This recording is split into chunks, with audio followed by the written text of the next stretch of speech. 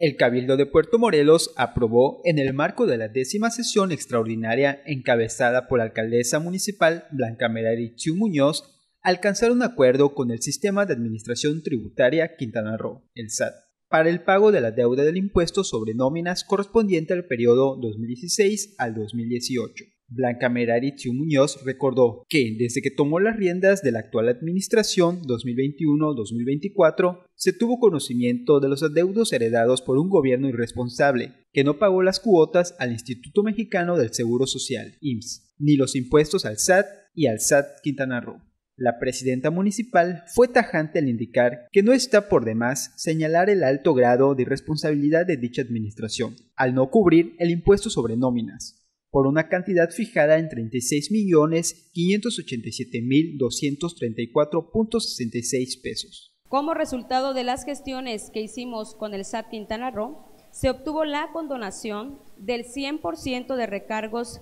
que importan la cantidad de los 12.965.012.75, así como la condonación de las multas que importan la cantidad de 8.801.986.22, resultado de un monto pendiente de pago por la cantidad de 14.820.235.68.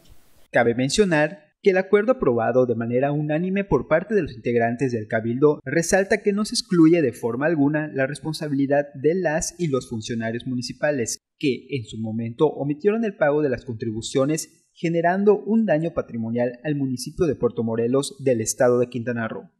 Informó para Notivisión Víctor Salazar.